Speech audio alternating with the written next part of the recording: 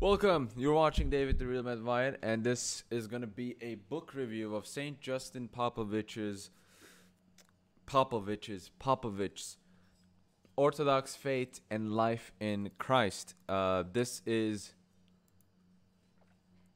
I usually don't read 20th century, 21st century, 19th century people. Generally, I don't read them. It's not really because I don't like them per se.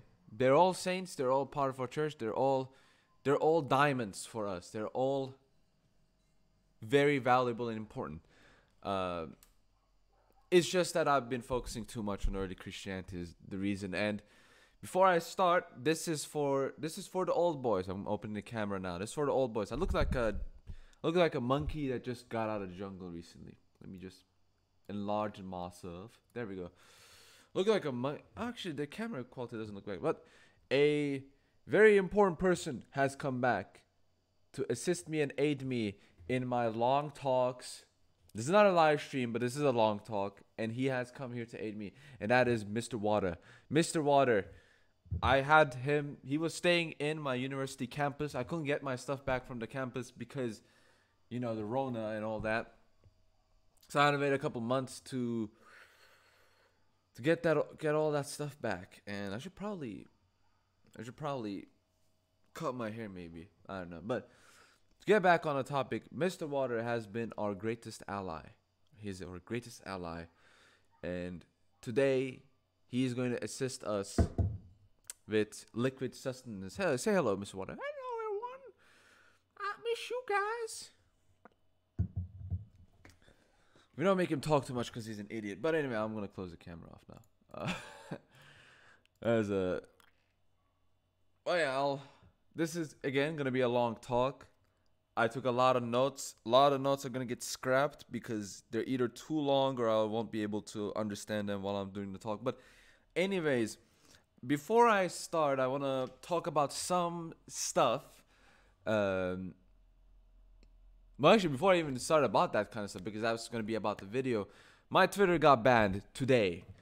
I I went to sleep at 8 a.m. Yes, by the way, I have a very bad, I have a vampire sleep schedule, but that's beyond the point. I went to sleep at 8 a.m.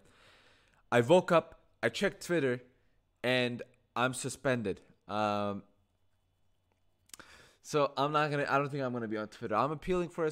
I'm appealing the suspension. I'm maybe it will work. I'm gonna i'm gonna tell them hey you know i did nothing wrong because i got suspended because i called a vignette a the r word.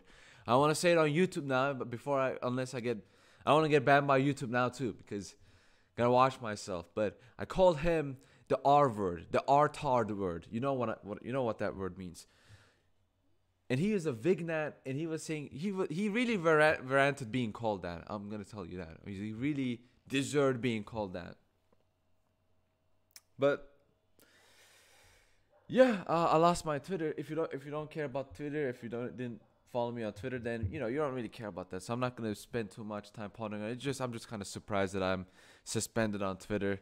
It's a so if you guys are Twitter heads, here's what you can do. Okay, this is for the Twitter heads here, and I'm gonna tell them until I get my account back. Share this video. Share this video around. Retweet other people sharing this video. Tell people to watch this be you know fill in the gaps for me. Uh, i will be i will be i will appreciate it if you did that. And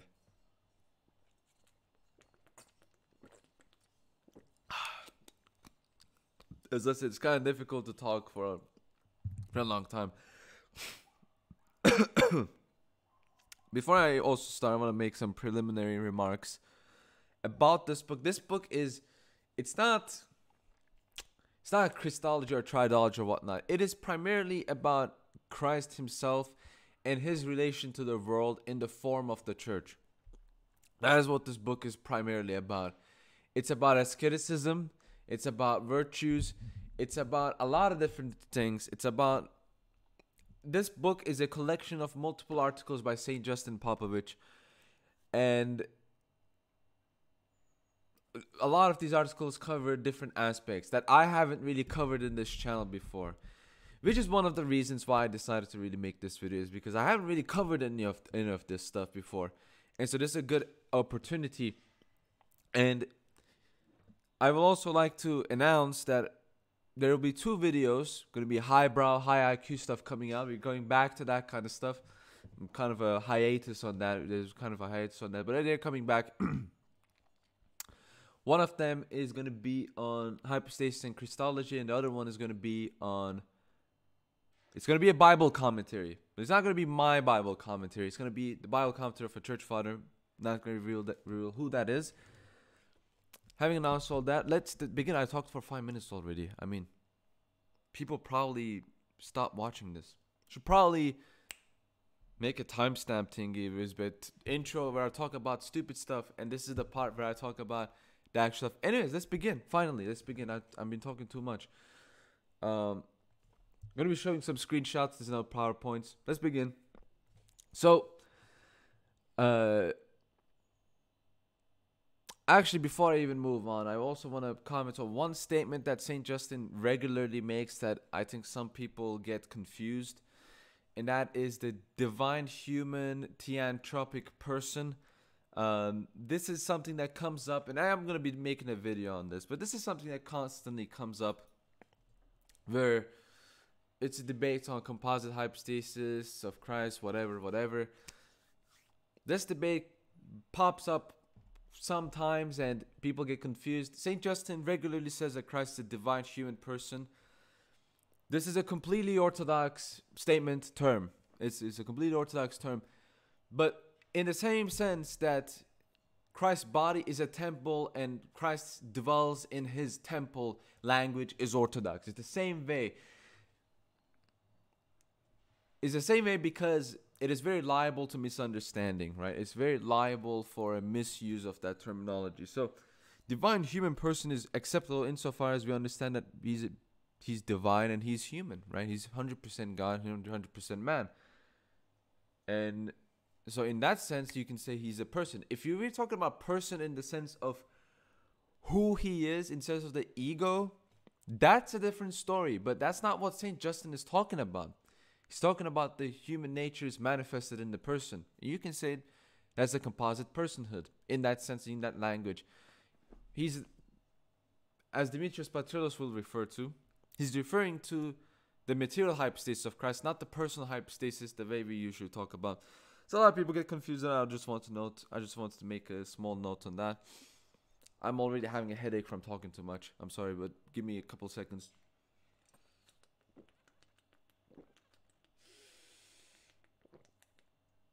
I think my nose is blocked and that's why I can't speak properly.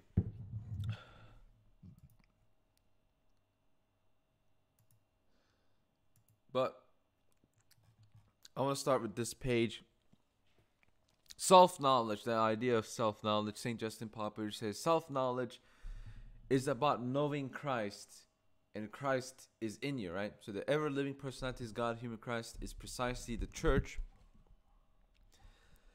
And so the mission of the church is not some vague, let's make everyone believe the same thing, but the mission of the church is to make every one of her faithful organically in person one united with the person of Christ. And how do we get united with the person of Christ? Through the sacraments, that's one of the things.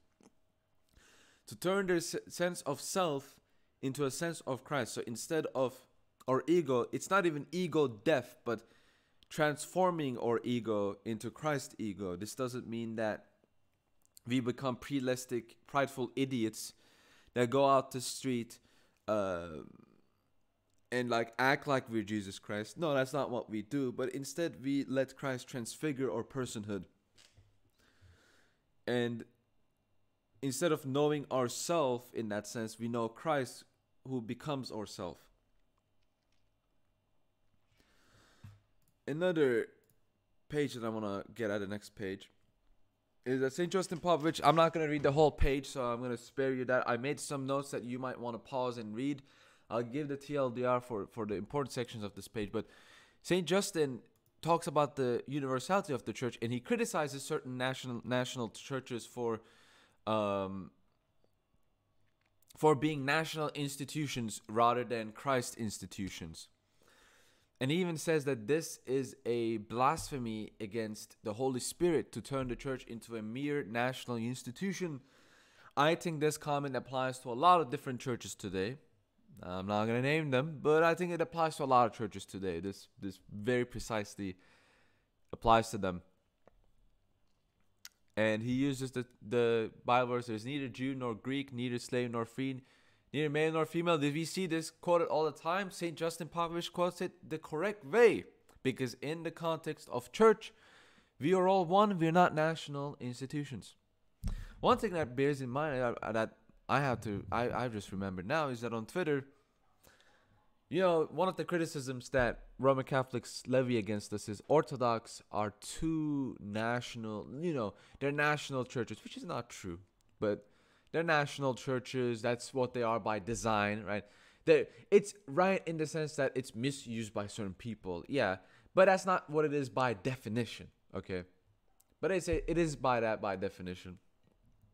And then I look at Oriental Orthodox and they say they say they are too united.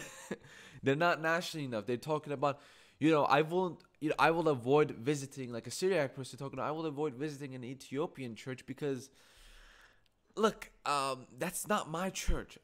Wait, wait, wait, wait, wait a second. Hold, wait, wait, wait, wait, wait. That's not my church. You are in communion with them. You can't say that. It doesn't make any logical sense. I don't even think it's definitionally that way, but some people take it that way.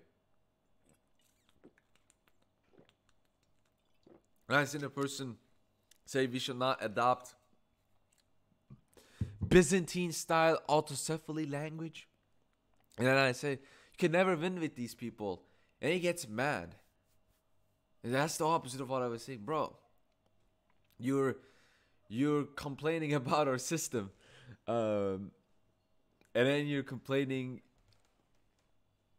that I find it funny. I don't know. It's it's strange. People are strange, but as you know, I got banned on Twitter, so whatever. it is a fundamental error to have God human organism of the church divided into little national organizations, right? In the course of their procession down through history, many local churches have limited themselves to pure nationalism and nothing beyond that. So the church has adapted herself to the people when it, sh- it should be the reverse. Thank you, St. Justin. Thank you. And this doesn't only apply to in the concept of nationalism, which we don't have any problem with. But if you are trying to replace anything in the world with replacing that thing in the world with what it, what is divine, okay, that's the part where we have a problem, you see. That's the part where we have a problem. And this could be any good thing that is worldly by design If you replace that with what the mission of the church is, you are committing blasphemy against the Holy Spirit. That's what St. Justin says. And so you should adapt yourself to the church, not the church adapting to you. This is a very fundamental statement by St. Justin. This applies to various different things, not just this topic, various different things. It is now the high time, the 12th hour time for our church representatives to cease being nothing but the servants of nationalism uh, and for them to become bishops and priests of the one holy Catholic and Apostolic Church, the mission of the Church given by Christ and put into practice by the Holy Fathers is this that in the soul of our people be planted and cultivated a sense and awareness that every member of the Orthodox Church is a Catholic person, a person who is forever and ever and is God human, that each person is Christ and is therefore a brother to every human being, a ministering servant to all men and all created things this is the Christ given objective of the church. Any other is not an objective of Christ, but of the Antichrist. For a local church to be the church of Christ, the church Catholic, this objective must be brought about continuously among our people. So notice, St. Justin does also shy away from using the, the Catholic term. He regularly uses it because that's part of our official name, Orthodox Catholic Church. That is really, you could say, the more official term uh, the more official usage of or name, the Orthodox Catholic Church. That doesn't mean that we're the Roman Catholic and Orthodox simultaneously. That is ludicrous. I mean, so many people get stuck up on names, which is the stupidest thing I've ever seen. All right, I'm sorry, but give me a breather, cause been talking too much. I'm not getting any oxygen in my brain, and I gotta get some. Gotta get some, you know. All right. Let's move on. So Saint Justin Popovich.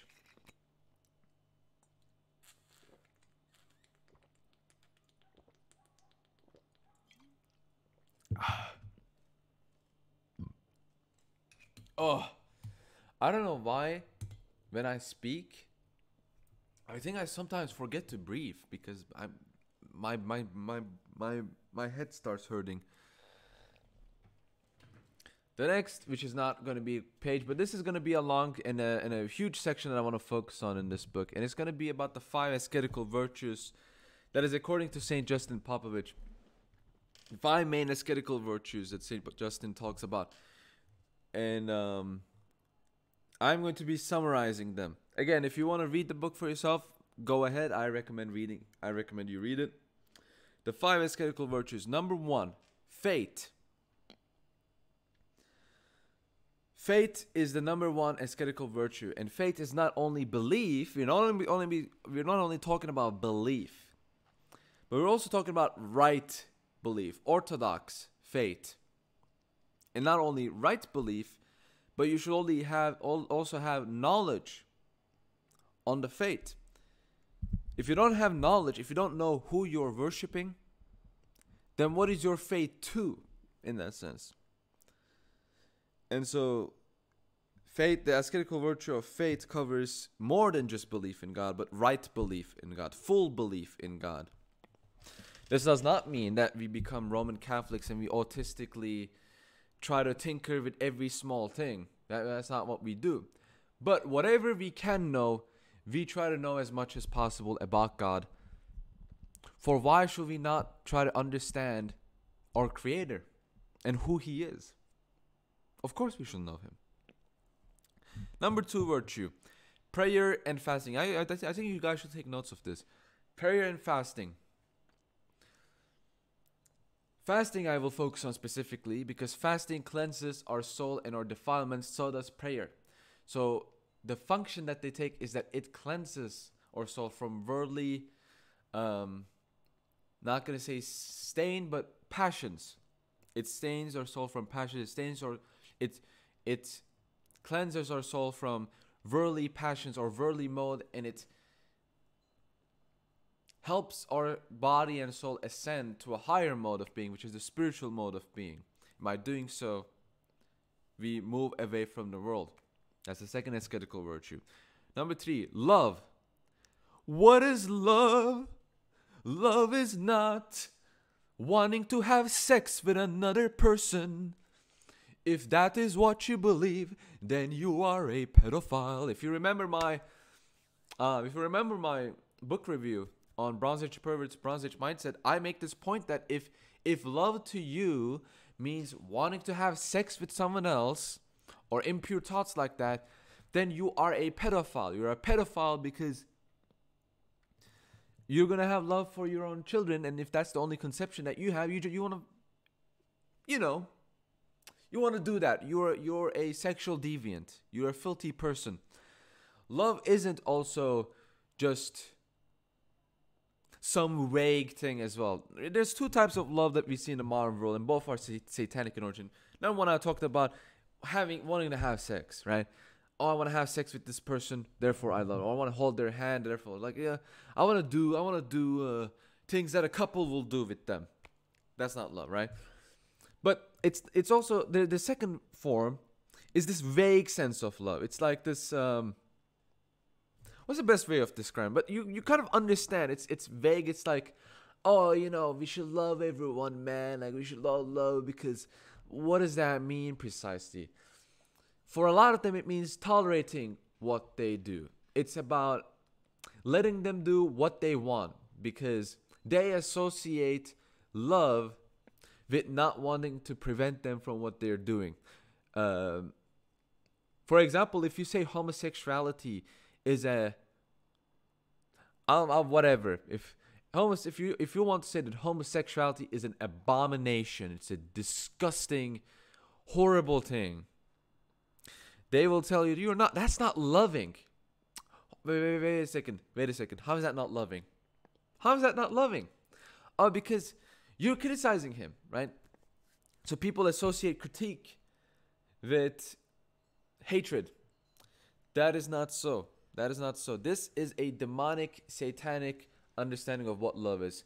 What love is, according to, to the Christian faith, true love is wanting the best for every single person. What is the best thing that can happen for every single person? For them to go to the kingdom of heaven, for them to be deified in Christ, for them to be like God, for them to attain the virtues, for them to be in the kingdom of heaven. That is love.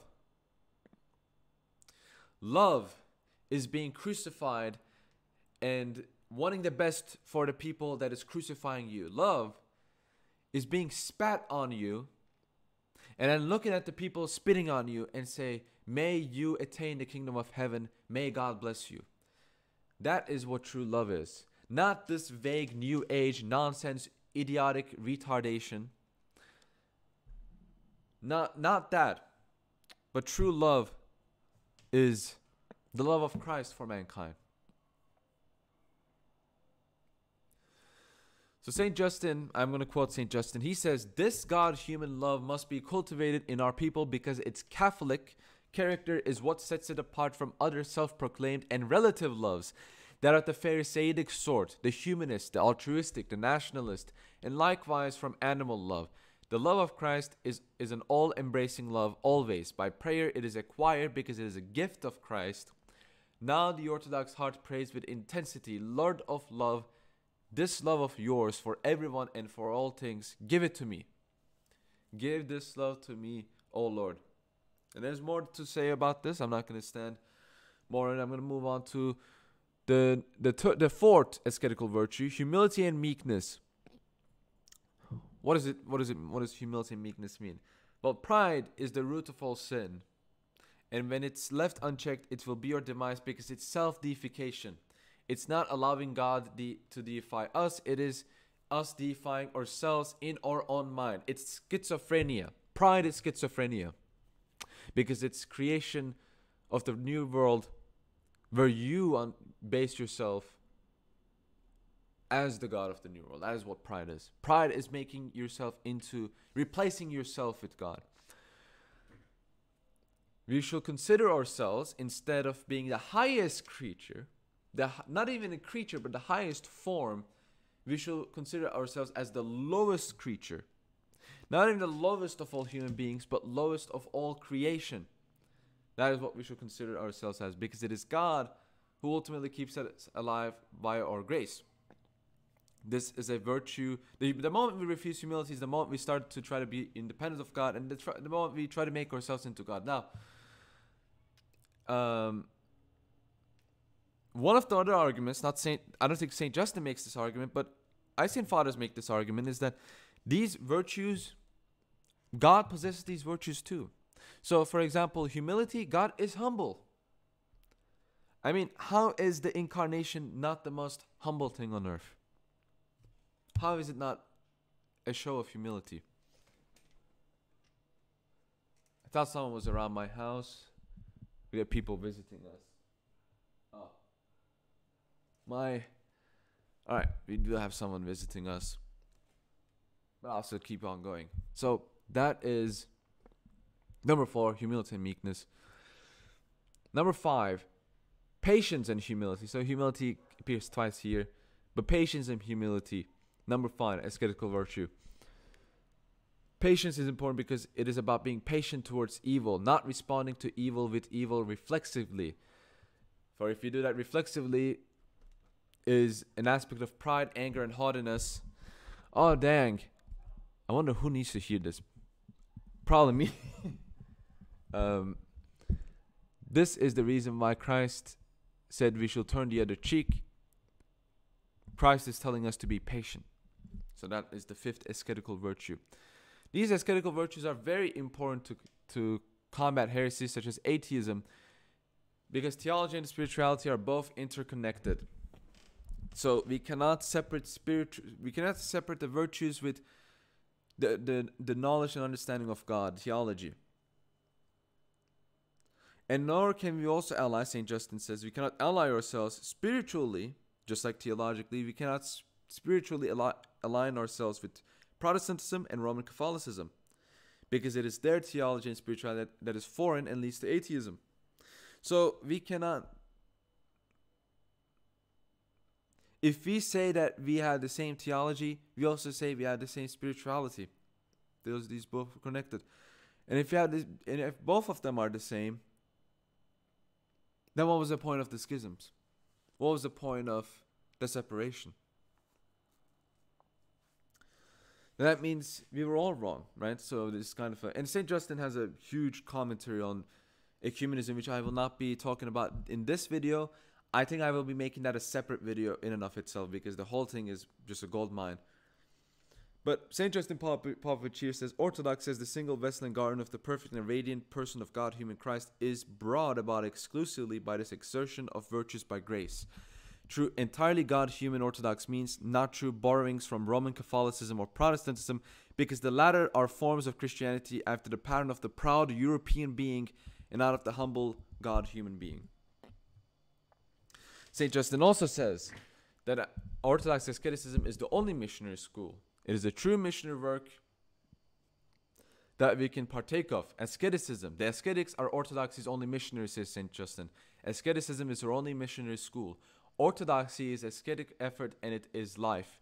And it is thus by effort and by life the the mission this is not copy paste properly, but theanthropic mission, I believe. Theanthropic mission is broadcasted, brought about. The development of asceticism, this ought to be the inward mission for church amongst our people. This is not copy pasted properly. I don't know. I don't know why.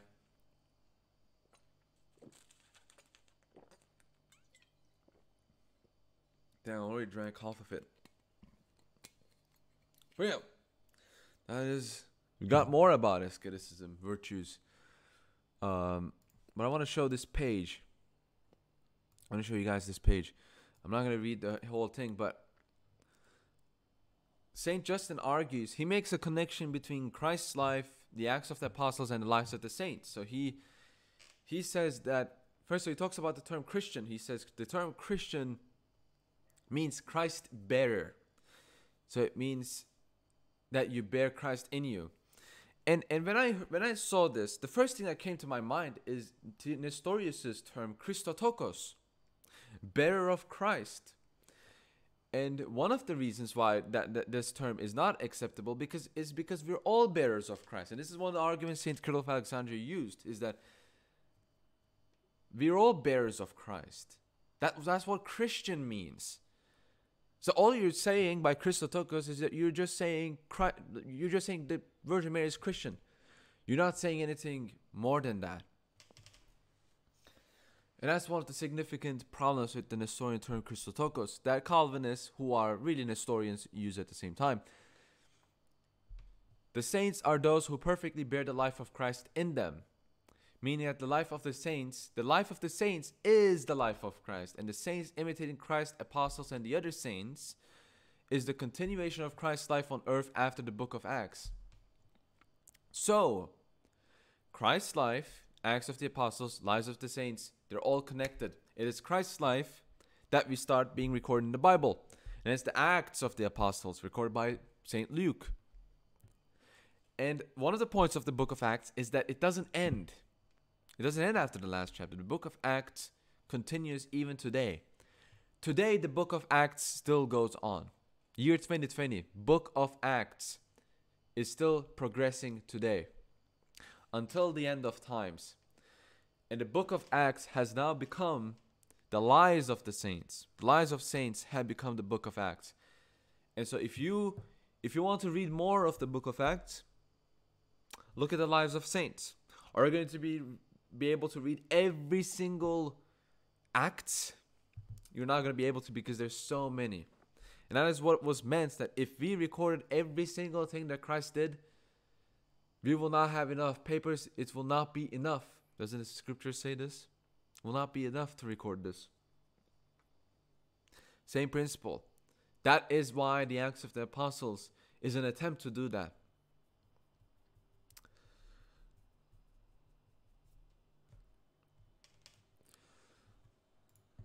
And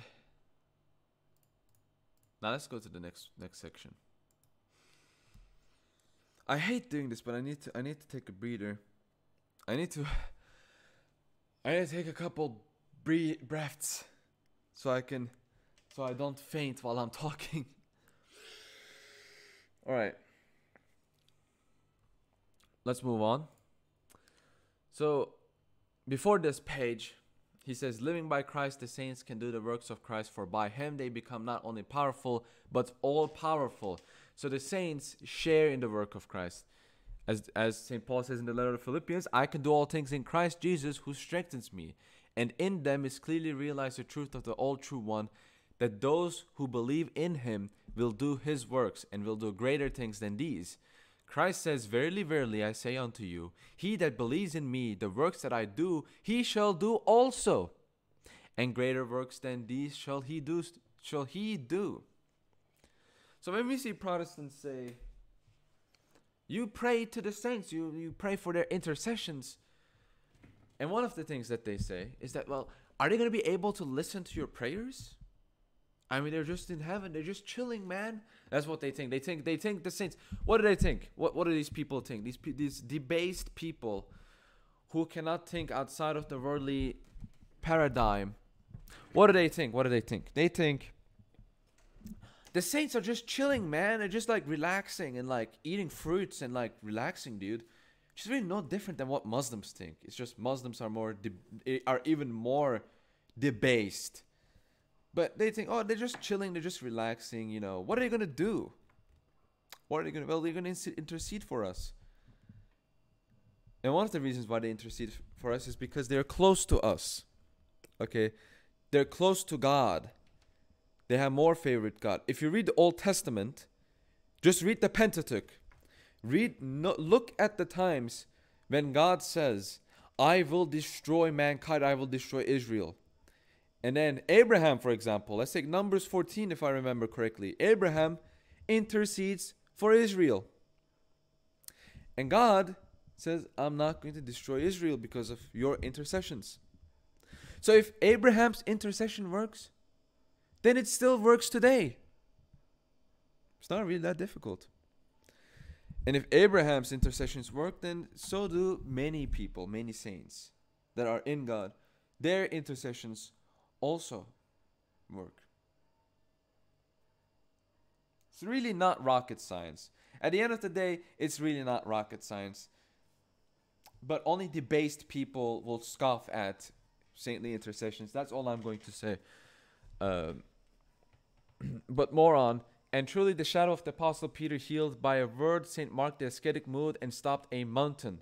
When God became man, then divine life became human life. Divine power became human power. Divine truth became human truth. And divine righteousness became human righteousness. Everything which is God's became man's. And so they ask, How can they hear your prayer? Like how God can hear our prayers, dummy. Because they share in God's power, because they have become righteous. And if you think that's crazy, read the Bible, idiot. It's in the scriptures. It's not even something. It's not even out of scripture. It's in the scriptures. And um, this is in Christology. It's the principle we call communicatio idiomatum, exchange of properties in Christ. This is this is the logical conclusion of that. So notice how you can't have that within a story in Christology. You can't have that within a story in Christology. Just want to note that. Here's a quote from Saint Justin to to move on. Um, and this holy truth about the God man do not the lives of countless saints most evidently and experimentally bear witness to it. Do not the lives of saints bear witness to it. For the saints are saints by the very fact that they constantly live the entire Lord Jesus as the soul of their soul, as the conscience of their conscience, as the mind of their mind, as the being of their being, as the life of their life, and each one of them together with the holy apostle loudly proclaims the truth in Galatians 2:20. Yet not I live, but Christ lives in me. And St. Paul says in, in the first epistle to Corinthians uh, 11 1, imitate me just as I also imitate Christ.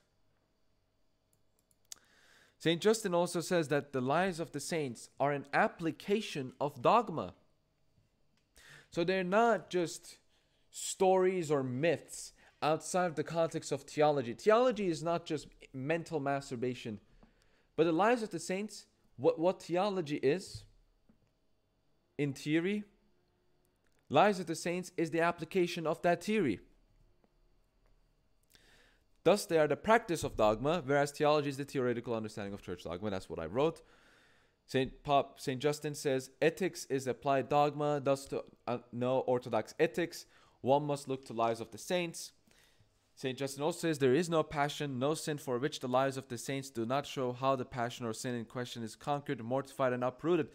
So, if you're struggling with a sin, turn to the lives of the saints. That is where you're going to see that. That is where you're going to see the application of how we conquer sin or what even is sin in the first place. Every kind of terrible people have been shown in the lives of the saints where they have by repentance become incredibly holy people. So repentance is what can what can turn you from the son of a devil to the, a son of God. To a son of God, not the son of God, by the way. Um, all right, I'll take I'll take a I'll take a water break. Give me 30 minutes 30, 30 seconds, 30 minutes, 30 seconds. While I take a take a break, just think about what I just talked about. Think about all of this stuff.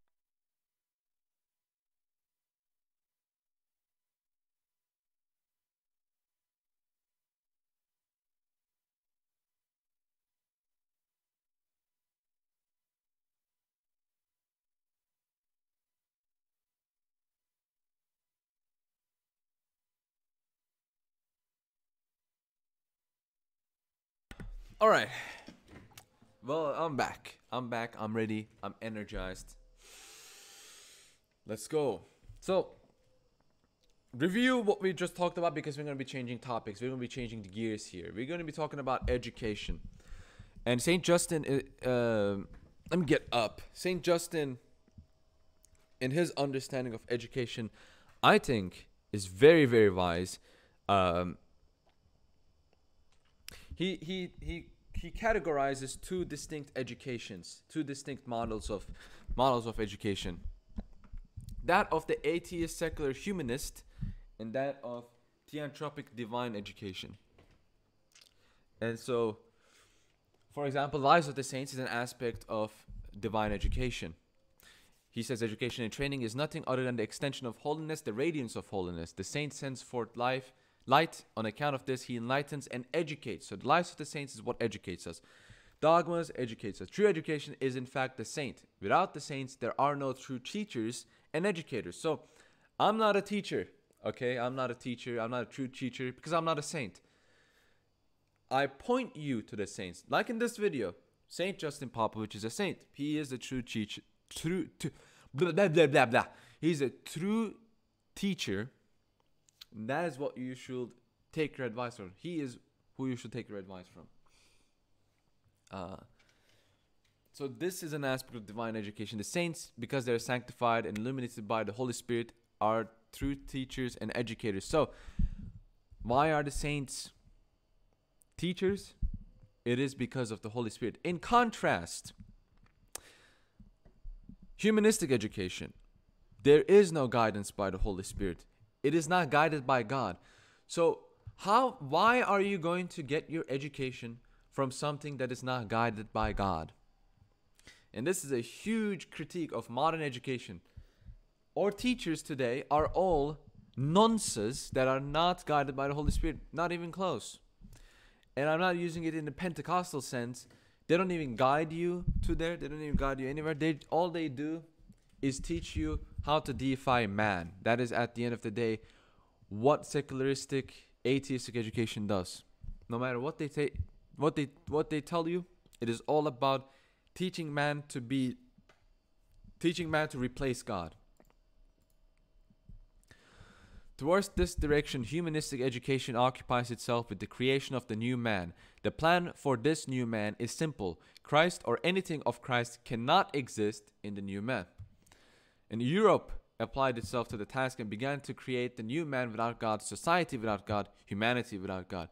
And we've seen what happens when you move away from that, when you move away from divine education to the base low secular atheistic education.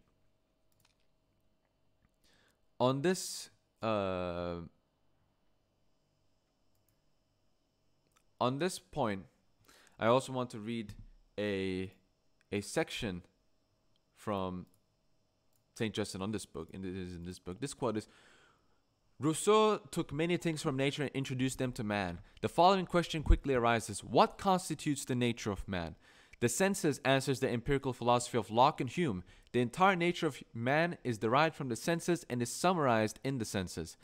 When that which is not essential for man is subtracted from him, only the senses remain to define who he is. The man who is essentially defined by the senses is very primitive and boorish. For this reason, rationalistic philosophy, under the leadership of Descartes and Kant, proposes a new type of man, man as intellect. Man is above all as a rational being. Everything else in him is unimportant to the extent that reason is able to claim primacy in his being. Yet the volitionists, who are led by Schopenhauer and Steinmeier, protest that the most important element in man has been omitted. Man's essence cannot be summed up in the senses nor in his reason, since he is neither one of these. Rather, he is foremost comprised of volition. Indeed, they say man as volition is the true man, it's a free will, I guess. He is the new man. So, um, so the first thing about the senses, man as senses. The moment you say man, if you define man as the senses, you basically turn him into an animal. You basically say you are an animal. Only the most ba- debased animals can be said to be guided by defined by their senses. Um, and this whole this whole page, these whole pages are gold mines. Uh, one of the things he says, yeah, he, he says the superhuman of Nietzsche is a subhuman. He says the superhuman of Nietzsche is a subhuman because the superhuman is without God. The European man is without God. He has degenerated on account of his humanistic education, has become a base and significant, insignificant man. There's more that I that I could talk about, but I, I just want to show you the pages. If you're listening to this on your car ride, then then here's what I will tell you that you can do. Um, you can just read the book for yourself. and I will advise you to read the book. It's a good book. It's a good book. I had fun reading it. Uh, it's it's got a lot of wisdom. So I want to read the quote and then move on to the next section. Since he has killed go- both God and the soul from within, the European type of man has already gradually become, has gradually be committing suicide for some decades. So the European man, the atheistic man, is committing suicide. Suicide is the inevitable outcome of murdering God. Education without God has led Europe and the whole world into a darkness such as humanity has never seen. In this darkness, no one knows anyone and no one recognizes anyone as his brother. If you're if you're atheist or secular or whatever, read under implant this quote in your mind. Just just implant this quote in your mind and think about it. And look at the universities, the high schools, and whatever. And tell me this with all your heart. Is he not 100% correct? Is he not 100% correct? If you say, no, he's wrong, he's lying, it's, you're kidding yourself. You're lying. You're not lying to me. You're you're lying to yourself. Just look at education today. I don't even need to tell you anything more than that. Just look at it today. That's all you do. It's full of jesters, full of clowns, full of disgraceful people. But I will move on from that. Um, having commented on education, St. Justin Popovich says, all right, what what is how should we do divine education? The main guidelines and characteristics of divine education can be formulated as follows. Man is a being who can be perfected and completed in the most ideal and real way by the God man and in the God man. This is to say, in the Christ. The perfection of man by the God man takes place with the help of the evangelical witnesses. So, the evangelical witnesses of the saints, of the prophets, of the scriptures. The illuminated and educated man sees in every man his immortal and eternal brother. So, the, the educated man loves all man, even the most disgusting man. Every human work and action, philosophy, science, geography, art, education, culture, manual labor receives its eternal value. So it does indeed have value, but the but it gets its value from the God man, from Christ. True enlightenment and education is accomplished through a holy life according to the gospel of Christ. So imitating the gospel, imitating Christ is true enlightenment and education. The saints are the most perfect illuminators and educators. The more holy a man is, the better an educator and illuminator he becomes. So if you're a worldly trash bag, then you can't really teach people. You're a bad teacher. Uh, school is the second half of the heart of the God man. The first is the church. And finally, at the center of all centers and of all his ideas and labors stands the God man Christ and his theanthropic society that is the church. So, another opportunity for you to review what we talked about. This is mainly concerning education because we are again we're going to be changing the topic. So give me a give me a small little breather and I'll be kicking hard.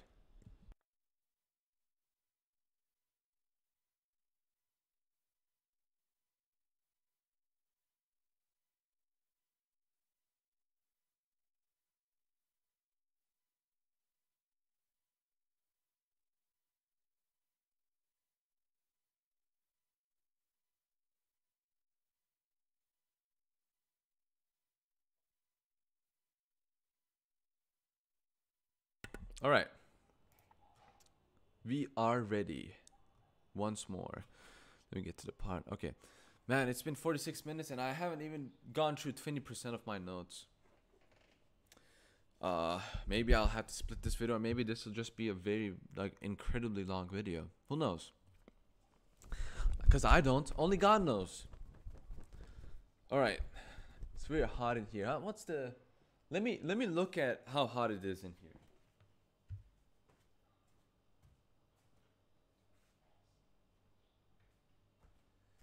Right, it's it's 29 degrees Celsius.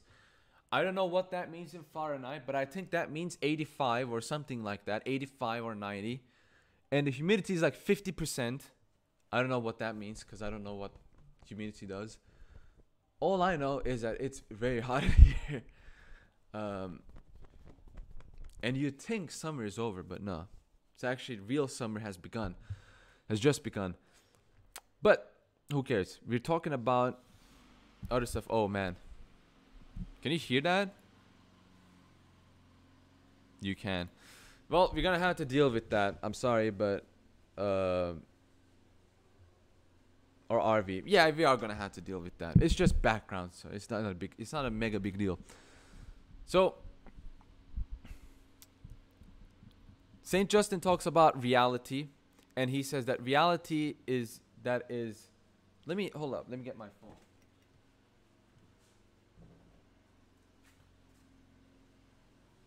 Reality, which is material, is apprehended by the intellect, which is immaterial. So, all realities function according to an immaterial intellect, therefore. And so it's kind of basically saying for material reality to be true, there needs to be a divine immaterial mind to connect the materia with the immateria. Man lays the foundation for his visible life, for his life in time and space, on the invisible that is on the soul, on its thoughts, and on its conscience. The human mind, therefore, wants to apprehend infinite immaterial realities because that is by nature what it desires to do. Therefore, this is why man desires theosis at the end of the day. This is why they desire deification. But this desire is not true. It's not merely human. it's not some. It's not a material impulse. It's an immaterial mi- impulse, a gift from God in our human nature. Which is why different philosophical systems, at the end of the day, different philosophical systems try to achieve this reality. Bearing this in mind, the fall of man becomes a fall from God towards self autonomy. The fall is less of a God expelling Adam and more of a Adam expelling God. And thus man becomes a Nietzschean superhuman, which is in its essence a subhuman. Yeah, I, I hope it's not really loud because it is loud in here. Um, which is why Adam which is why the fall like the fall adam being expelled was kind of necessary because if adam remained in the garden he will probably have burned from expelling god. So it's kind of it's it's a mercy thing. And i think saint cyril of alexandria also says the same thing in genesis. He basically makes the same argument that actually is god that them getting out of the garden is is an act of god's mercy not of god's justice. So it's not actually so, in a sense, what will be just will be to let Adam stay. But the merciful thing will be to kick Adam out.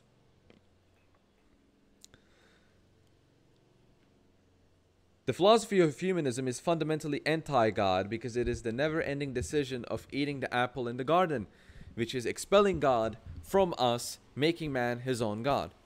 Man, in turn, from divine human, becomes merely human because he rejects the divine gifts implanted in him by becoming self autonomous. Oh man.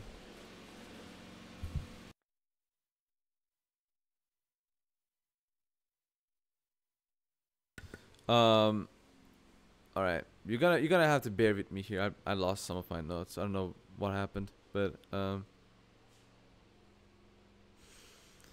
Thus, Christ's incarnation becomes necessary to restore the divine human being of man. Uh, Saint Justin says, "Perfect divine wisdom, perfect divine wisdom, logic, and intelli- intelligence has entered into human nature through the incarnation of the divine Logos." Man tries to find the truth. Hold up. Can you give me a second? Can you give me a second?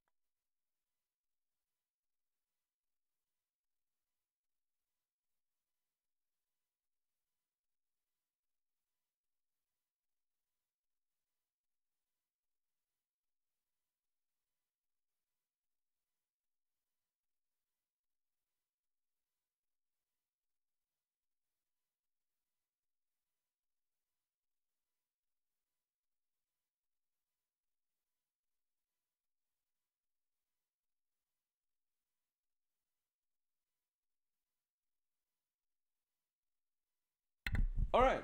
Notice how there's no sound because I closed every single door of my house. So I'm gonna probably, I'm gonna probably rot from the heat, but that's fine. Um, but I, I to get back on topic. Saint Justin says, "Perfect divine wisdom, logic, intelligence has entered into human nature through the incarnation of the divine Logos." Um, man tries to find the truth, but because of his atheistic humanistic methods, he fails to attain truth. And in order, to, and I would like to add that that is why faith is an integral part of it. Faith is not something that is contrary to reason. Faith is what completes reason in understanding God. And when you have atheistic humanistic methods, you cannot, not only can you understand God, but it's even more beyond that. And that's what we see in all atheistic philosophies is that they fail to understand even themselves, even the nature of their own world. Look at the atheistic presuppositions, the atheistic worldview, and tell me I'm wrong. Can they understand the nature of ethics and morals? Give me a break. They don't even believe in immaterial things because the moment they have to accept them, by the way, the moment they have to accept them, what are they going to do? Oh, they're going to have to ask themselves, okay, what connects the immaterial things with the material reality, right? But so I'm talking more about the materialist atheist, which is the most, which is the more common atheistic um, understanding of how the world works. So you can't understand it. You can't understand the meaning of life. Why are you why are you doing this? Why are you doing what you are doing? To feel happy? Is that is that what you're doing? Do you want to you want to feel happy? You want to feel you want to feel some dopamine in your brain? You want to you want your brain to tell you you enjoy life? How do you know that's real? Because you feel it? Of course, can, they can answer the, these questions because they can't know. And the funny, the funniest thing is that if you analyze the atheistic worldview in more detail, you'll realize they have more faith. They use, they utilize more faith than we do sometimes. Uh, just, oh, you know, I just believe logic exists. Right? You, this is what Matt Dillahunty did in his debate with Jay Dyer. Logic just is, or like the the the Tom Jump idiot who said reality is reality. It's, it just is. Just trust me. Just trust. Reality is just reality. It's, just trust our senses, man. How is that not having more faith? The problem is you might have more faith, but you don't have faith in God. You have faith in yourself. That is a wrong place to place your faith in understanding the world. That is the wrong place to place faith. So, to understand the manifestation of truth in the person of Christ, one has to grow out of the atheistic secular paradigm approach of truth. So we cannot use atheistic argumentation. So we cannot say that, oh, you know, let's say Origen is not condemned because it was a later addition in Anathemas. And the Sixth and the Seventh Ecumenical Councils were wrong in thinking they were editions. That is an atheistic argumentation. That is an atheistic secular paradigm approach of truth because that is when you say, I know more than the ch- church, which I am supposed to believe is the theanthropic body of Christ. The church made a mistake, and I know the truth. That is an atheistic argumentation. People that make those arguments, they can they can say I believe in God all they want. At the end of the day, they are no different than the lowest atheist and just write write this somewhere write this somewhere in your head because that is the truth you will realize eventually if you haven't already those kinds of people are lower than the lowest kinds of atheists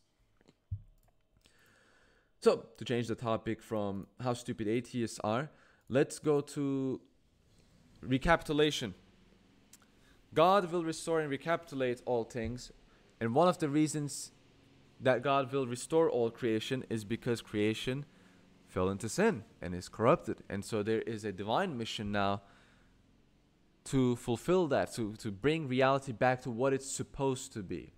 Christ, as a divine human person, is the most valuable of all beings, and as such, he is the same time the highest criterion of all true values. So any values outside of Christ, they don't matter. They're they're they're who cares, right? They're who cares. It's only Christ that matters in this sense. In this world, any being inferior to the God man cannot become the criterion of all values because that which is of the greatest value is none other than the person of the God man himself. Man cannot be the criterion. But hey, realize how this is all personal, not impersonal. Man cannot be the criterion since his value is much less than that of the God man.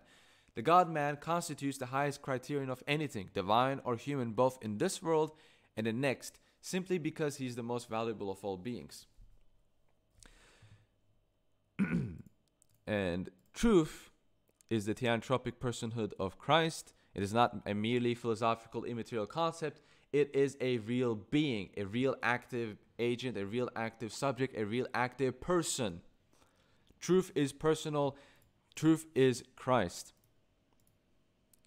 And the church is the church only through the God man and, and in the God man. The New Testament can be summed up in one comprehensive truth the God man is the essence, the purpose, the meaning, and the essential value of the church. He is its soul, He is its heart, and He is its life. He is the church in its entire theanthropic fullness. The church is nothing other than the God man, Christ projected through all the centuries. And lo, I am with you always to the close of the age. Matthew 28 20. And St. Paul quotes this in his first epistle to Ephesians. So to recap, God is not an abstract category. God is a historical person. This is what separates us from paganism. Paganism considers God as this merely abstract category, whereas in Christianity, he is a person, he is a real person. Our personhood, in its foundation, is from divine personhood in the Trinity. And he reveals himself in. This is why, by the way, hyper allegorism that some people engage in scripture, like Neo Marcionites do regularly, is heretical and it's pagan in its origin. Because what happened in the Bible, in Genesis, it's historical. It's not a myth, but it's historical. It's something that really happened in history. It's real history. It's just as real as Alexander the Great telling his officers to race mix with the Persians. It's just as real history as that. It's just as real history as I don't know, Greeks being sodomites. I don't it's the, if that's real history, that's real history. This is also real history. It's just as real history as Ottomans conquering the Byzantine Empire in 1453. It's just as real history as you get the point. You get the point. If that is history, this is history. They're both part of history. So one of them is not a merely purely allegorical thing that uh, that didn't really happen in history, but it's just written by people who are new agey idiots. No, this is paganism. This is pagan in its origin. Mythology is paganism. Mythology does not exist in Christianity.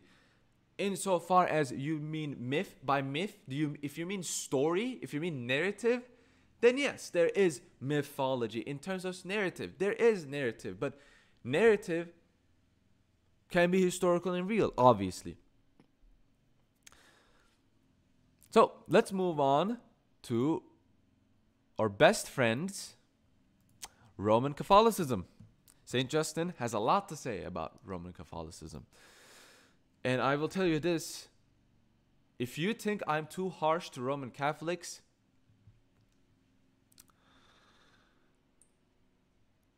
Saint Justin is way harsher to you than I, I, I can ever be. So, um, Saint Justin says on Roman Catholicism and Protestantism, he says, in the European West, Christianity gradually became transformed into humanism. For several centuries, the God man became more and more limited and confined to his humanity, eventually becoming the infallible man of Rome and of Berlin.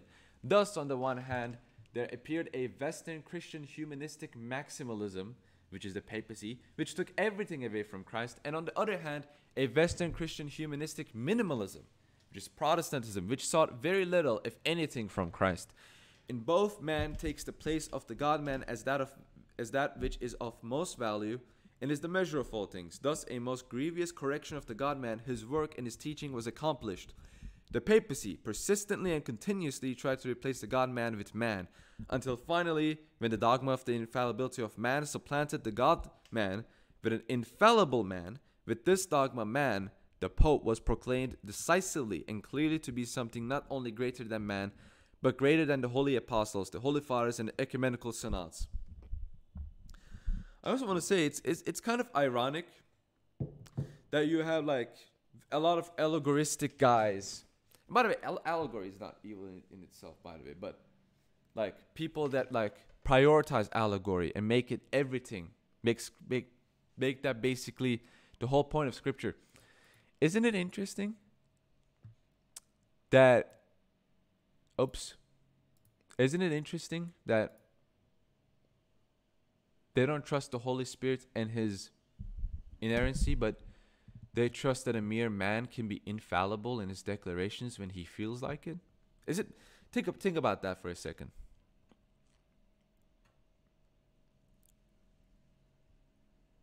The Holy Spirit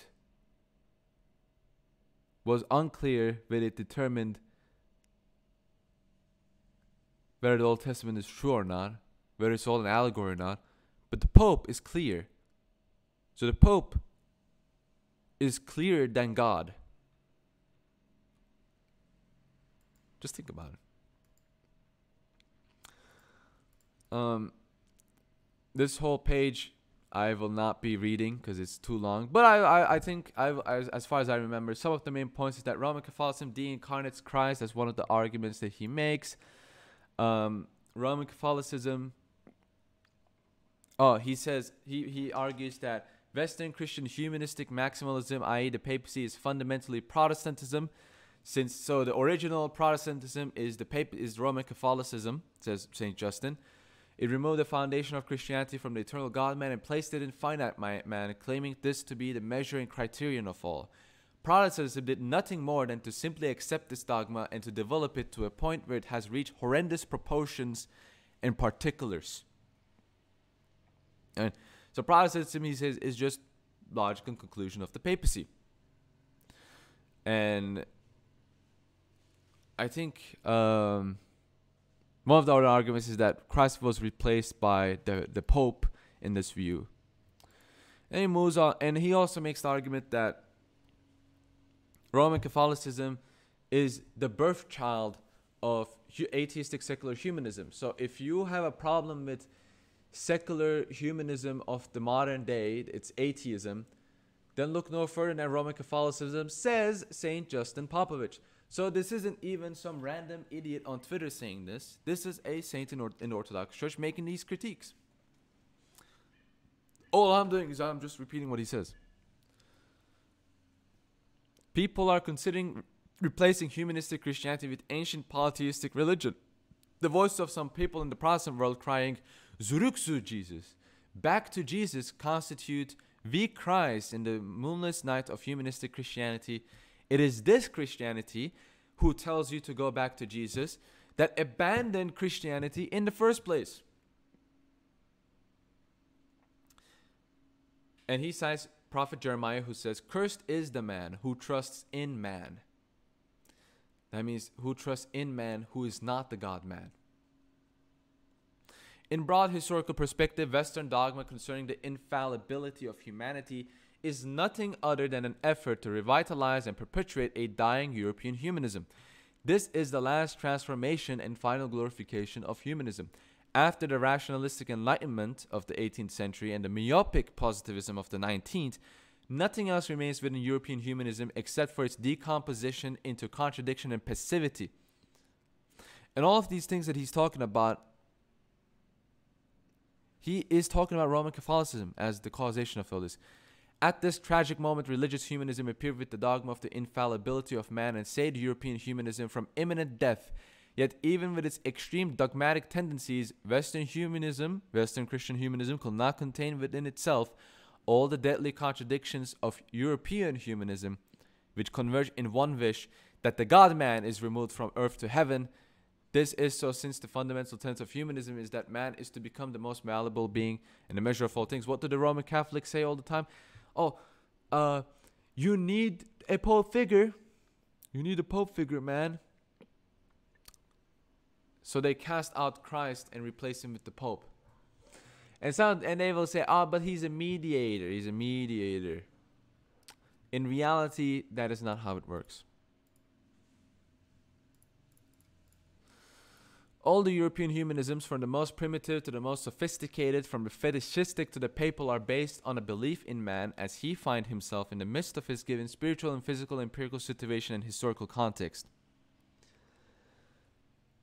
In this view, the essence of, hum- essence of every humanism is man, and encapsulated in the ontology of every humanism is nothing other than humanism. Man is the highest value, the supreme value. And and what is talk what is getting at is that humanism is closely tied with the papacy. It is tied with Nietzschean assertion of superhuman. And St. Justin says the dogma concerning the infallibility of the 20th century Pope is nothing other than the rebirth of idolatry and polytheism the rebirth of idolatrous value judgments and criteria. But. But this also has to be said. The dogma concerning the infallibility of the Pope was introduced in the dogma of idolatrous humanism, which in the first instance was Hellenic humanism. And you can read the rest of the page if you want want to. I'm not gonna stick more on it. And what in reality happened, says Saint Justin. What in reality happened is that it made the devil the god of this age. And it's changed, man changed its king from Christ to himself. And so papal infallibility in some sense is like the fall from the Garden of Eden. In some sense, in the, in this regard. Papal infallibility that is. As what St. Justin says, through the dogma of, of infallibility, the Pope usurped for himself, that is for man, the entire jurisdiction and all the prerogatives which belong only to the Lord God man. So only God only Christ has the power has that power that the Pope is trying to usurp for himself. And do you know what is the funniest part? The funniest part of all this? Saint Justin asked for forgiveness because he cited the Second Vatican Council. So for him, the Second Vatican Council is so disgusting. It's it's so disgusting for him that he doesn't even want to utter it. And yet somehow we're the same church, by the way. St. Justin goes on to say, I'm reading a quote from him. However, the dogma of papal infallibility is not only a heresy, but the greatest heresy against the true church of, true church of Christ, which has existed in our terrestrial world as a theanthropic body ever since the appearance of the God man. No other heresy has revolted so violently and so completely against the God man Christ and his church as has the papacy with the dogma of the Pope man's infallibility. There is no doubt about it. This dogma is the heresy of heresies, a revolt without precedent against the God man Christ on this earth, a new betrayal of Christ, a new crucifixion of the Lord. This time, not on wood, but on the golden cross of papal humanism. And these things are hell, damnation for the wretched earthly being called man all men in the presence of Christ will naturally feel. Uh, oh, this is not continuous. I, I was, my notes were a bit silly, but all men in the presence of Christ will naturally feel sinful. Saint Justin published the example of Saint John of Damascus and Saint Simeon, the new theologian.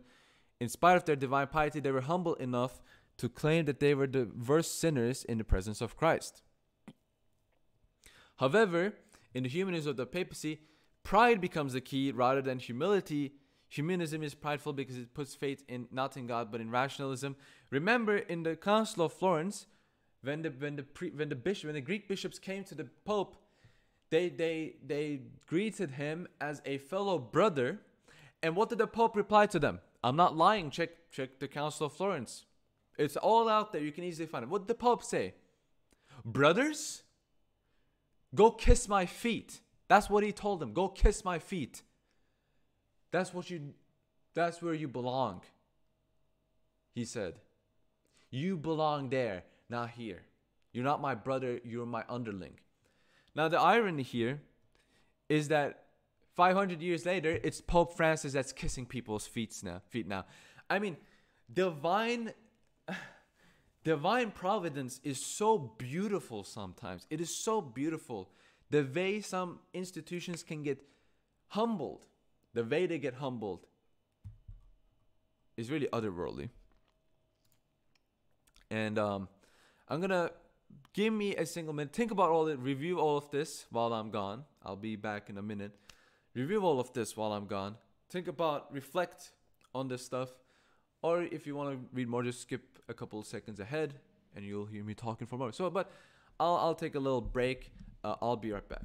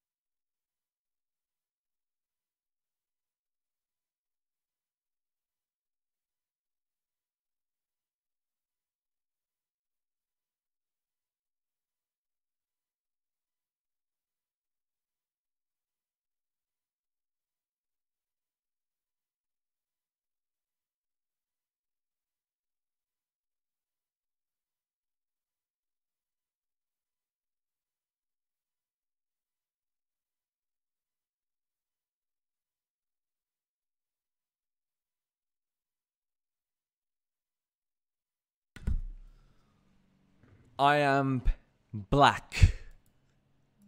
That means I'm back. And are we done with our break? Did we, did we take our did we take our toilet break? Everyone, you feeling good? You feeling you feeling bright? Still can't believe that I'm banned on Twitter. Um, it's not the end of the world, but I am kind of mad because I did I did have a lot of followers, and I got suspended for a very stupid reason. At least if it was for a good reason, could have been cool, but it's not for a good reason. Um, we're moving on with the next topic. This is gonna be, I think, a more more of a Thank you, Spike. Ad- what was his name? Adam something. Very cool. I should I should mute my phone. Um. We're moving on to the theory of knowledge according to Saint Isaac the Syrian. this article this is going to be a summary of that article. It's from the same book. And this is going to be heavily ascetical, so I'm going to kind of I'm to refrain from making comments because I don't think I I deserve to even make comments. But I'm I'm just gonna kind of read quotes.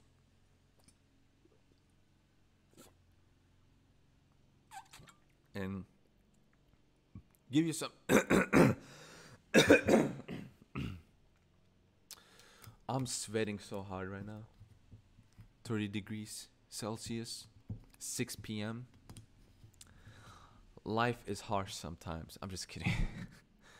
This is not harsh at all. It's just annoying. Um, so let's start by talking about some of the terms that we're going to be using. Passions. Passions are the unnatural illnesses of the soul. They are not our soul nor a faculty of our soul. They are corruption that inhibit in our soul, and it it corrupts our perception of reality. Passions can be categorized as hardness or insensitivity of being. Their causes are of worldly things. Passions are the desire for wealth and amassing goods for self comfort. These are examples. They are the thirst for worldly honor among men. They are the exercise of power over among others. Thus, we call passions the world. And this is why we say death to the world, because death to the world is death to the passions. And the world constantly attacks us. Passions attack us and try to drive us away from God. The only defense against the world is God's divine grace. St. Justin Popovich says they confuse the mind, filling it with fantastic forms and images and desires that his thoughts are uh, disturbed and filled with fantasy. St. Isaac the Syria, Syrian says the world is a prostitute, so our passions are prostitutes. The healing of the soul can only be achieved through the purification of passions, and to do so, we must attain virtue. So, in order to protect, so in order to attain grace, we must attain virtue and cleanse our soul from passions with virtue. Every virtue is a cross for us to bear. So instead of hating the life that is given to us by God, we must, like St. Isaac the Syrian, love the hardships that are given to us because it is an opportunity to cultivate us, uh, cultivate us into greater beings. To free, free us from material passions, attaining true freedom and true likeness of God in the in process. So, in order to heal our souls, we must separate good from evil and resist evil to attain the virtues and start the process of healing. So, let's talk about the virtues. Faith is the most important and powerful virtue. It gives up worldly powers in substitute for the divine power of God. The soul thus moves from being empirical to spiritual and senses the world in its true mode that the empirical mode cannot comprehend. Real intellectualism is of the faithful mind since it unlocks its true potential. St. Justin and St. Isaac associate gluttony with faithlessness, since gluttony clouds the mind and makes it satisfied due to earthly attainment, which is why fasting is crucial. By the way, I'm not going to make much comment, but this is something I want to make a lot of comments on because and this is this is David the real call out man. This is the real call out man. I look at certain apologists. I look at their bodies. And we, God gave us eyes and God gave us a brain. And God gave us the understanding that if someone is fat, there are most likely, there might be some exceptions, Maybe they had to eat because of some sickness, or maybe because of other circumstances. Maybe it's because they didn't eat as much, but that's just what their body did. Maybe, maybe, maybe. Very low chance, but maybe. But although not all gluttonous people are fat, it is a good idea to understand that most fat people are gluttonous, right? And you might say, well, but we have fat priests, we have fat monks. And a lot of people might criticize me for saying this, but that just means they're gluttonous. I mean, monks, priests, they're not perfect. I'm sorry, but they're not perfect. And um, if you weigh a ton, if you if you as if you're as heavy as a car, then you're gluttonous. I'm sorry, but you're probably gluttonous. Ninety percent, you're gluttonous.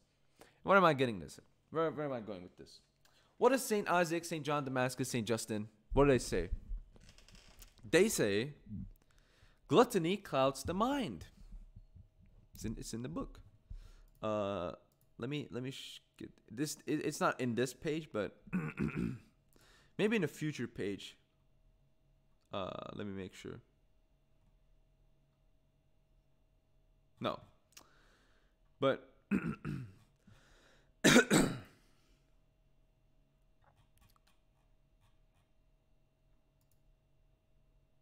But what I what I was getting at, that gluttony clouds your mind. It it inhibits it. It pulls your mind back from what it can do. Why am I talking about this? There are certain apologists. I will not name them, but there, some of them are called Eric Ybarra, who are fat, they're gluttonous, and they're apologists. Now, what do you need when you're doing apology? You need intellect. Intellect. You need to be smart, you need to be intelligent, and your intellect should not be clouded by passions. Because if it's clouded, then that put, puts it back. In short, I'll say it like this If you are gluttonous, and this is not just me saying this, it's just me saying it in a obvi- more obvious, effective way so that some people can understand. If you're gluttonous, and this goes to people, maybe there are gluttonous people that are watching this, and this will give them more motivation to not be gluttonous, to try to get themselves away from the sin, to start fasting. If you're gluttonous, you are an idiot. You are stupid. You are low IQ. That's what you are. I'm sorry, but you're stupid.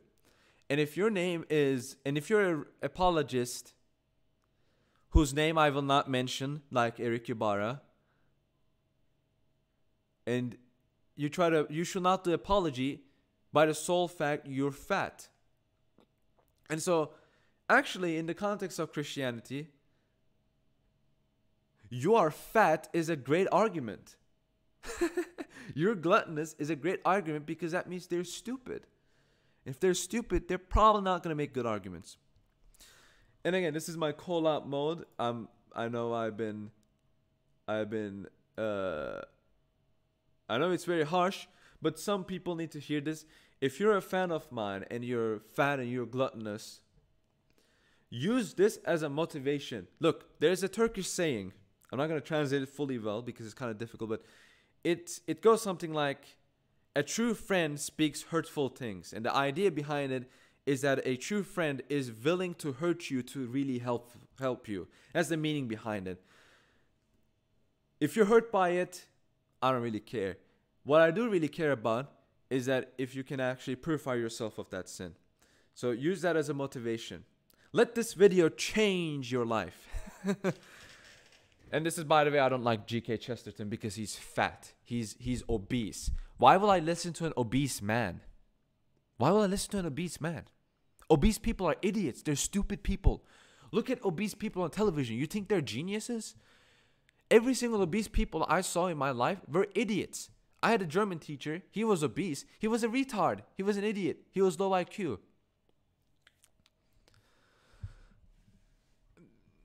And he like he'll look like a globe. he'll look like a gigantic globe. And oh, you're fat shaming. Yeah, I am fat shaming because I don't want you to be fat. You should stop being fat. Fat people are idiots. Stop being fat and you'll stop being an idiot. Simple as that. Fast. Fast more. Again, some people need to hear this. Some people really need to hear this. But, right, gluttony. I, I talked about gluttony. Uh, to get back on faith, faith is attained by reading scriptures, lives of the saints, and constant remembrance of God. If faith had a language, it will be named prayer, says St. Justin. Great statement. Man crucifies himself in prayer, and prayer itself is a struggle. And so that is why, if you have a hard time praying, I should definitely listen to this. If you have a hard time praying, then that means you're struggling. That's good. Good. If you're praying and you're you're you're like, I don't want to pray. I've had enough of this. Good. That's that's great. That's amazing. That means you're making progress. Pray more. Pray more. If you think prayer is supposed to feel good, like, oh, you know, my dopamine's going wild, free Wi-Fi really make me go wild, and if, that if that's your mindset when you're trying to pray, you're making zero progress. You're making zero, absolutely zero progress. You're supposed to have a lot of difficulty when you're praying. Let's talk about love. What is love? Baby, baby, don't hurt me no more. Sorry, I am baby and I will hurt you a lot more. True love is impossible without faith and prayer because they are prerequisites. So, in order to have love, you need to have faith and you need to have prayer. Saint Isaac is the per- Saint Isaac's perfect example of love is the quote from Abba Agathon. The perfect example of love is to find a leper and to change bodies with him, to give your body to him and to take his body from him. This is exactly what Christ does. He finds the leper, which is us, and changes body with, with him, meaning becomes incarnate, and suffers as the leper for the benefit of purifying us. This is what Christ does for us. And this is the example of true love. St. Isaac the Syrian says, Paradise is the love of God in which lies the sweetness of all blessings. Hell is the absence of this, but also it is the absence, but also the whiplash of the presence of God, God's love simultaneously. Because the absence of love is not the absence of God's love, it's the absence of your love to God. And that's why you're feeling the whiplash. He then more on says, First, acquire love, which is the original form of man's contemplation of the Holy Trinity. Thus, love is absolutely contradictory to humanism. Say St. Justin. Humility. Faith presents the new way of thinking, and this is humility. Humility caused Son of God to become man and suffer for us on the cross. So yeah, I've talked about this a couple of, uh, uh, an hour before, an hour ago. Saint Isaac says, "Humility made God a man on earth." By the way, humility made God a man on earth.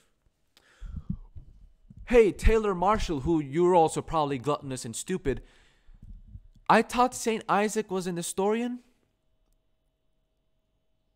I thought he was a Nestorian, bro. But here he says humility made God a man on earth. I thought he was a Nestorian, bro. I thought you knew better than we did. but no, Taylor Marshall.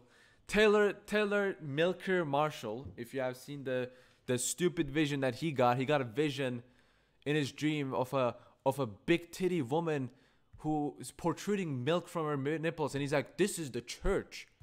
No dude you're just a pervert. That's what you are. You're a pervert and you got a perverse dream. If that was going to be the message it will not be a blonde blonde woman with big boobs who's poisoned that's not it will be explained a better way not with that When turned towards the world, a humble man reveals the whole of his personality through humility, who imitates imitating in this God incarnate. Just as the soul is unknown and invisible to bodily sight, so a humble man is unknown among men. So all your good deeds is unknown among men. And this is what's so difficult about humility is that this is why I don't like people saying I'll pray for you in public.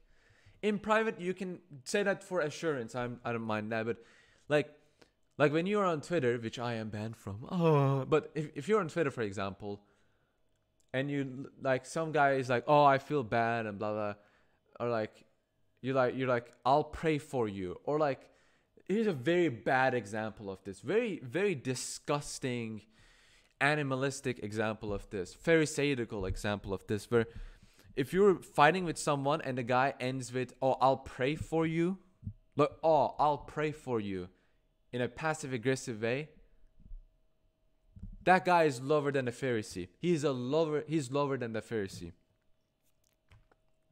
Simple as that. I don't like that. I don't like that kind of stuff. I don't like the I'll pray for you language in public. I, it really bothers me because I don't think it's humble. I think it goes contrary to humility. We should really genuinely if you're going to be doing good things, no one, no one sh- people it seems strange to say, but true humility is letting people know the bad things of you and hiding the good things from you.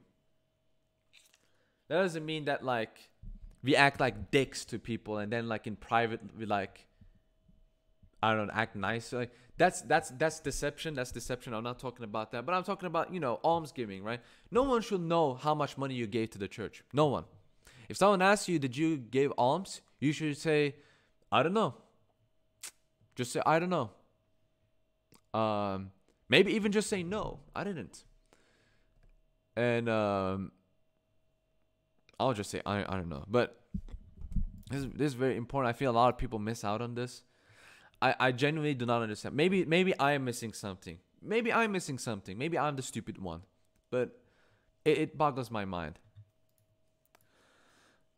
So, the basic on grace and freedom he says the basic indication of Christian activity is man working with God and God working with man. This is completely contradictory with monergism. Completely contradictory. You cannot be a monergist. If you want to be a Christian, even. Because the basic indication of Christian activity is man working with God. If man does not work with God, then what's the point of man? What's the point of all this? The man is not created in the image of God as well. Um,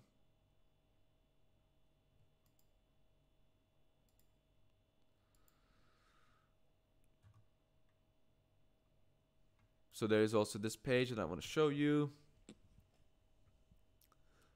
on uh, on the importance of divine grace. This is, by the way, uncreated grace. This is not some created grace polytheism nonsense. This is uncreated grace that Saint Justin and Saint Isaac's talk about. On the topic of purification of the intellect, the intellect, as the soul cleanses itself from passion, also becomes purified. St. Isaac connects gluttony with the intellect, being hindered with impurity and heaviness, which means fasting purifies the intellect. We need to remember the intellect by nature is clean and good. It is only corrupted with evil and sin as an accident. Hence, why we fast to purify our intellect and to bring it back to what it's supposed to be. Once the intellect is purified, it can see the mysteries of God much more clearly. Only the mind that has been cleansed by grace can offer spiritual knowledge. Until the mind goes through this process, it cannot receive spiritual knowledge. Therefore, the virtues are the wings of the intellect, which raises it to heaven. And the purposes of all of the commandments of God is not for it to be law unto itself, but it is to purify the heart and raise or raise or intellect, raise or being into heaven. Um, he says, Saint Isaac writes, "In what does, in what sense does purity of intellect differ from purity of heart? Purity of intellect is one thing, but purity of heart is another. For the intellect is one of the senses of the soul, but the heart contains the interior senses and governs them. It is their root. And if the root is holy, then the branches are also holy," says Saint Isaac. And how does it acquire purity? By many trials tribulations, and tears, and by the mortifying of all that is of the world. Saint Isaac says, How do we know that we have become purified? He replies, When he sees all men as good and no one appears to him to be unclean or profane. So if you look at someone and you see this guy is a piece of shit, then you have not achieved purity of heart nor intellect. And um, St. Isaac also talks about knowledge. There are two types of faith and two types of knowledge, says St. Isaac. Uh, the first comes true, the, the two types of faith. The first is true hearing and is also confirmed and proven by the second, the faith of contemplation, the faith that is based on what has been seen. In order to acquire spiritual knowledge, a man must be first freed from natural knowledge. This is the work of faith. Uh, natural knowledge presupposes unfaith, which is why we cannot derive our faith from natural knowledge, but must truly repent and acquire faith. Natural knowledge does not exist for faith, but it can be a force of good because natural knowledge, according to St. Isaac, is not at fault, even though he criticizes it. He says it's not at fault, it is not to be rejected. It is just that faith is higher than it. And when it's united with faith, natural knowledge, natural knowledge, what does natural knowledge mean? Knowledge of the world. So geography, uh, sports, right? That's natural knowledge. It is good if you combine it with faith. And there are multiple layers of knowledge that we're going to be talking about. So the lowest level of knowledge is worldly knowledge, puffed up with pride and is inherently worldly. Thus, this knowledge consists of knowledge of the arts, worldly philosophy, as opposed to the divine philosophy, and even science. So, being better at science does not mean that you have more knowledge. It translates, it means that you have more lower kind of knowledge. Thus, this kind of knowledge, when left unchecked, opposes faith and reason that follows faith. The one tick upper will be the knowledge is the practice of virtues. This knowledge is given to you in the form of divine grace by the Holy Spirit. The third degree of knowledge is perfection. St. Isaac the Syrian says, When knowledge rises up above the earth and the care for earthly things and begins to examine its own interior and hidden thoughts, scorning that from which the evil of the passions spring, and rising up to follow the way of faith in concern for the life to come, and in the seeking of out of hidden mysteries, then faith takes this knowledge into itself and absorbs it, returning and giving birth to it from the beginning, so as to begin itself from the beginning, so as to become itself Holy Spirit. Uh, hold up, just killed the fly. St. Justin Popovich says the first degree of knowledge cools the soul's ardor for endeavors on God's path. The second rekindles it for the swift path that leads to faith. The third is a rest from toil when the mind feasts on the mysteries of the life to come. But as nature cannot as yet wholly rise to the level of deathlessness and overcome the weight of the flesh and perfect itself in spiritual knowledge, not even this third degree of knowledge is able to move towards total perfection, so as to live in the world of death and yet leave behind completely fleshly nature. Saint Isaac is asked, What is knowledge? He answers, The perception of eternal life. The question then becomes, What is eternal life? The answer is to perceive all things in God, for love comes through understanding, and the knowledge of God is ruler over all desires. To the heart that receives this knowledge, every delight that exists on earth is superfluous, for there is nothing that can compare with the delight of the knowledge of God. St. Isaac is then asked, What is truth? St. Isaac answers, Truth is the perception of things that is given by God. In other words, the, percep- the perception of God is truth. If this perception exists in a man, he both has and knows the truth.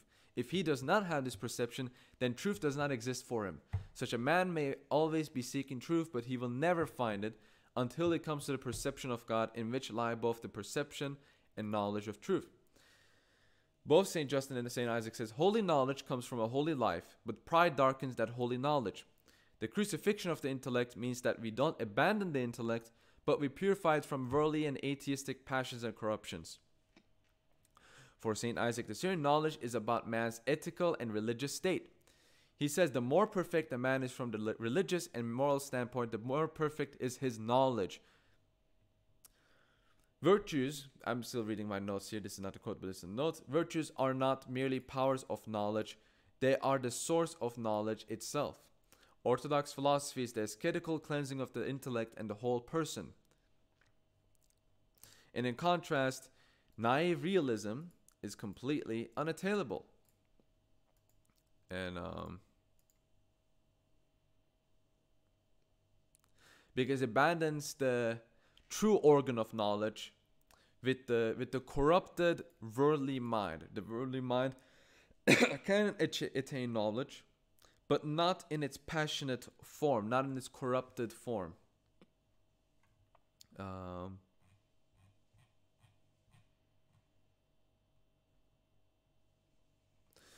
and we're, we're, we're reaching the end. This is going to take less than two hours, which is kind of surprising, but this I'm going to be talking about some of the select writings of Saint Justin. So these are again more quotations, more notes. The select writings of Saint Justin are below. Saint Justin says sin is the only natural thing in man and the world. Saint John Chrysostom says Satan is sin. As long as and, and and I noted here, as long as man is as long as man is unrepentant, he will be in the snares of Satan. So he will basically be captured by Satan. True sin, man opposes God. He becomes God fighting in oppo- opposition to God. Sin is the main energy of the devil because he can bear neither God nor anything divine. When he is firmly established in the soul of man, he gradually destroys all goodness within him. First faith, then prayer, then love, fasting, almsgiving. With the desire to sin, man is gradually planning his suicide. There is no worse form of homicide than that which occurs through sin. It is truly the murder of man Therefore, the main task of the spiritually vigilant man is to kill the sin within himself, and in this way, kill the devil himself, which assassinates us through sin. But how can man kill sin? How will man kill Satan? This can only be done through the God man Jesus Christ, who became man for this purpose only. He accomplishes this through our faith in him, or love for him, or repentance before him, or prayer for him. So, atheist people, even good minded atheists, they are being corrupted. They are decaying. They are dying time over time because they do not accept Christ. The prodigal son parable illustrates how man created in divine kingly image loses it when he runs away from God, and as sin corrupts him, man loses the divine likeness. Only by repentance can man face can man turn away from sin and back to God. St. Justin says the sacred dogmas are the eternal and saving divine truths. So, Christology, Triadology, all that stuff that I'm talking about, I'm talking about eternal, saving, divine truths when I'm talking about this. So, it's not just pure intellectual masturbation, but they are very important for us. They are based upon the life giving power of the divine Holy Trinity, from which all of the power of the new life in Christ is derived. The new life in Christ is viewed completely from the dogmas, from the dogmatic truths of the revelation of God. St. Justin speaks of philosophy, and he says the philosophy of the Holy Spirit is the wisdom and the knowledge, the wisdom through grace and knowledge by the grace of the nature of beings. And this wisdom possesses as the pupil of the eye the knowledge of the divine and the human, the visible and the invisible, the philosophy of the Holy Spirit is at the same time the creative power which, by becoming similar with God, through the road of the ascetical charismatic perfection, multiplies within man the divine wisdom, orthodox divine wisdom about God, the world, and man. This character of the orthodox philosophy emphasizes St. John Damascus when he says philosophy is to liken with God, and therefore is the art of arts and the science of sciences.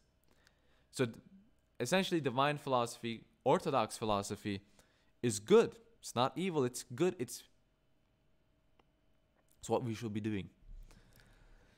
Is the source of life, the philosophy of the Holy Spirit to the only is the only art which has the manifold possibilities to fabricate a godlike and Christ-like personality, and is the only science which can teach the selfish and mortal man how to overcome death and obtain immortality. Therefore, the Orthodox philosophy is the art of arts and the science of sciences. Another select saying of Saint Justin man has the potential to be of the devil and to be of the God at the same time. It all depends on what man does. So there are no monergism, there's synergism. God according to the paradise, the feeling of God according to the word of the Holy Fathers. If you feel God within yourself, then you have already reached paradise. The Saint of our time, Saint John of Kronstadt, says, When God is present in all of man's thoughts, in all of his desires, and in all of his intentions, through his words and through his acts, the kingdom of God has come upon him. Then man sees God everywhere in his holy thought, in his holy action, in holy manner. One aspect of love is not to associate someone with their sin. Always separate the person from the sin and to love them in spite of their sin.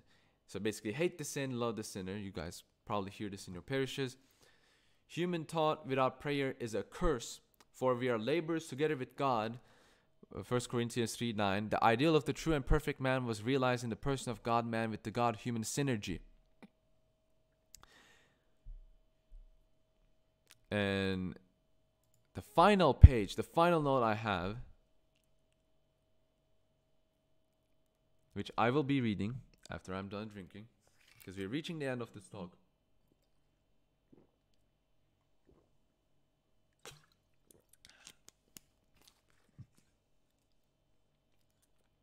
What are our traditions? They are everything that the God man Christ, He Himself, and by the Holy Spirit gave the commandment to hold and to live according to them. Whatever he delivered in his church, in which he dwells continuously with his Holy Spirit, our traditions are our whole life in grace, in God, Christ, and the Holy Spirit. The life of us Christians, which began in the church of Christ, through the apostles, by the descent of the Holy Spirit, all of this life of ours is not from us, but from the Lord Jesus, by the grace of the Holy Spirit. Or more precisely, our entire life is from the Father through the Son and in the Holy Spirit. Thus, our traditions are the new life of the grace in the Holy Spirit, which is the soul of the church, the life in the eternal truth of God, in the eternal justice of God, in the eternal love of God, in the eternal life of God. Here, man is not creating anything, nor can he create the eternal truth, the eternal justice, the eternal love, the eternal life.